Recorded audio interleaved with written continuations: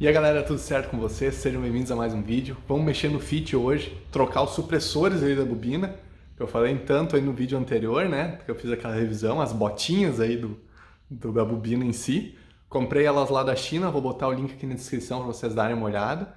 Chegou tranquilo, rápido aí, acho que três semanas chegou. Então, para isso tá ok, qualidade muito boa. Sem mais, vamos seguir para o nosso vídeo, começar a trabalhar aqui no carro. Bora!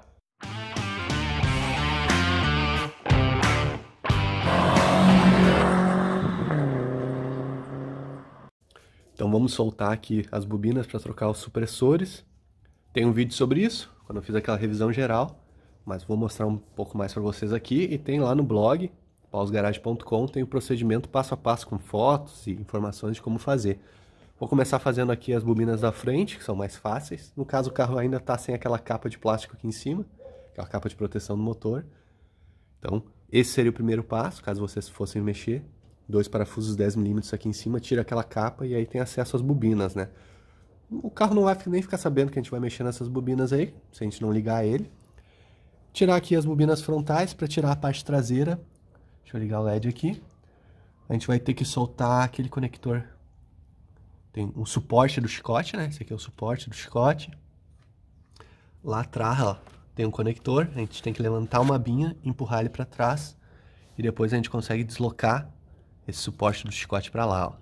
E aí, com ele para lá, fica fácil daí a gente soltar os conectores, tirar as bobinas traseiras, enfim, fica bem mais fácil de trabalhar aí. Então, vamos começar pela frente aqui.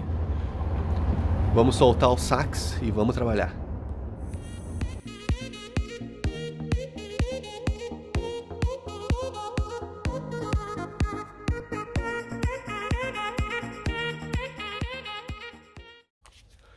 Então estão aqui as bobinas, né, com um supressor, lógico. Vocês lembram quando eu montei no carro que tinha ficado mais ou menos, né? Eu falei que eu ia comprar as botinhas para botar no lugar. Vamos ver se elas são do tamanho certo, tudo certinho. Vou botar o link aqui na descrição, caso vocês queiram comprar também. Uma coisa que a gente precisa fazer é dar uma conferida se não ficou nada lá. Nenhuma borrachinha, nenhuma molinha aqui do sistema do supressor porque depois isso poderia prejudicar quando a gente fosse botar os novos no lugar, né? Vamos dar uma conferida lá no carro. Então aqui no carro, vamos dar uma olhadinha.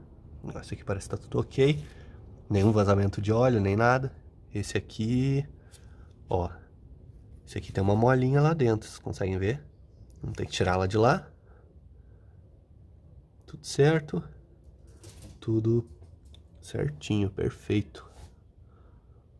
Show, show de bola. Vamos tirar essa molinha dali. E depois a gente vai partir aqui para a parte de trás.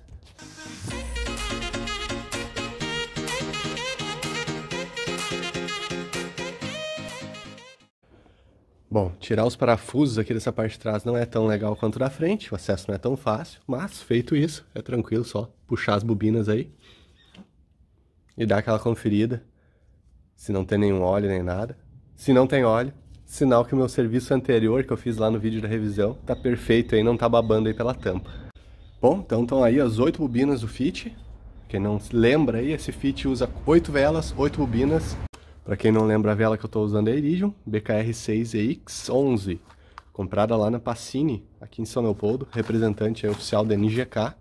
E agora vamos seguir para trocar os supressores aí. Teoria não é para ter dificuldades.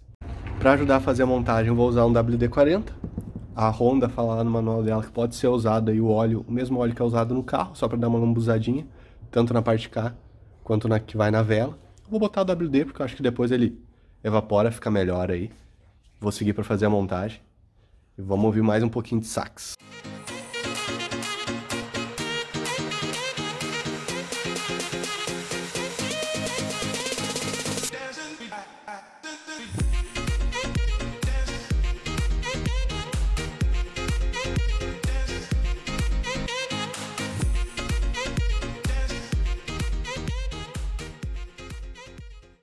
Bom, vocês viram que eu tô tirando inclusive essa borrachinha aqui de cima.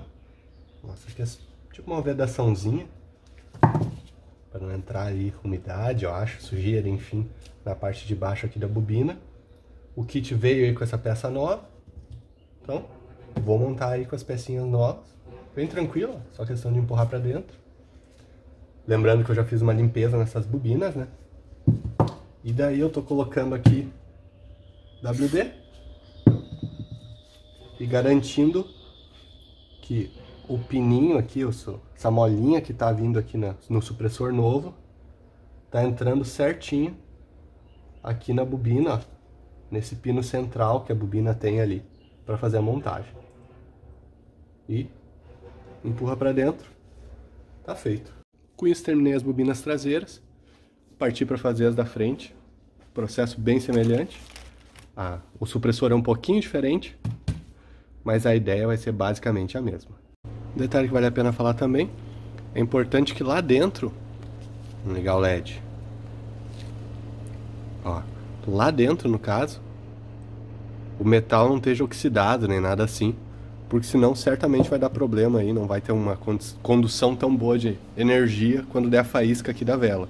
No caso aqui do meu, eu já limpei na última vez, não tem oxidação, ele está meio escurecido, mas não tem oxidação nem nada. Eu usei uma daquelas escovinhas na Dremel, até procurei se eu tinha elas aqui, mas eu não tenho, vou botar uma foto aí na tela. E usei aquilo na Dremel aqui dentro, para dar uma escovada, tirar a oxidação. Depois botei um WD, então não oxidou novamente. Mas poderia ser feito até na mão, com alguma lixinha, alguma coisa assim. Vocês repararem aí, ó, fica bem fragilizado isso aqui, porque no caso das minhas bobinas, elas receberam muito óleo no passado aí e o plástico é bem fragilizado, mas elas estão funcionando bem ainda, então não preciso fazer a troca.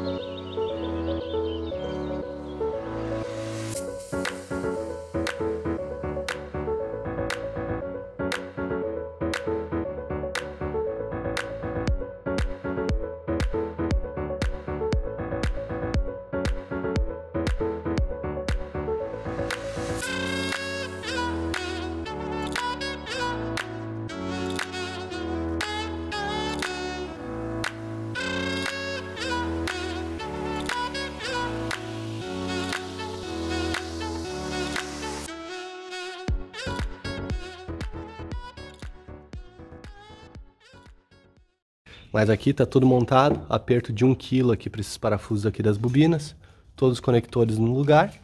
Mesma coisa aqui para a parte de trás, suporte da bobina no lugar também, encaixado lá do outro lado.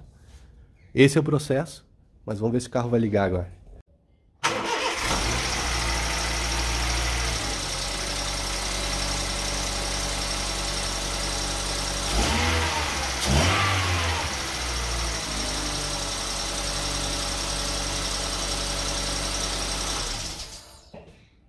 Então, para esse vídeo aí era isso, espero que vocês tenham gostado.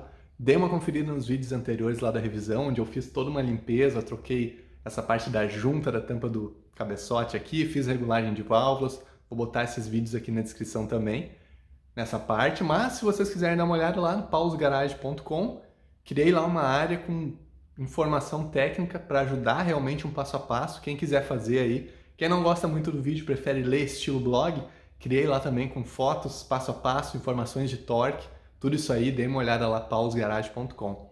Para esse vídeo era isso, um grande abraço para você, sucesso e até o próximo vídeo.